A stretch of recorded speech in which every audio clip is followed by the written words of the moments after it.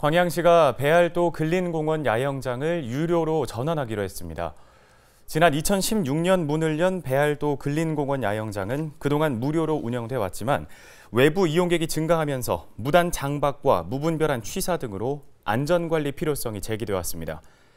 광양시는 관련 조례를 제정하고 안전기준 시설을 갖춘 뒤 유료 야영장으로 등록할 계획이고요. 내년 3월쯤 시에서 직영하거나 민간에 위탁해 운영할 예정입니다.